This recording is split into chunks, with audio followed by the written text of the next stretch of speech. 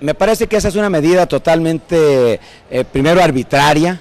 antidemocrática, porque ahora resulta que porque nosotros instalamos propaganda, primero, este, y no les convino a los intereses de, quien, de quienes sirve el Consejo Estatal Electoral, ahora este, lo quieren modificar. Si hubiese sido a la inversa, yo no les digo, si quienes hubiesen puesto la propaganda originalmente fueran los candidatos a los que están ellos este, obligados a servir, obviamente que nosotros nos hubiésemos quedado, solo mirando sin poder hacer nada. Ah, pero como ellos son los que tienen, son juez y parte, obviamente que ahora lo que ven que no les conviene a los candidatos, a los que están eh, este, sirviendo, pues obviamente que tienen, eh, toman los acuerdos o las modificaciones, como en su momento sacaron la ley anti-aispuro, que fue única y exclusivamente con el ánimo de detener a aispuro. Entonces está claro pues que el Consejo Estatal Electoral obedece a los intereses del grupo en el poder y no obedece lamentablemente a los intereses de quién,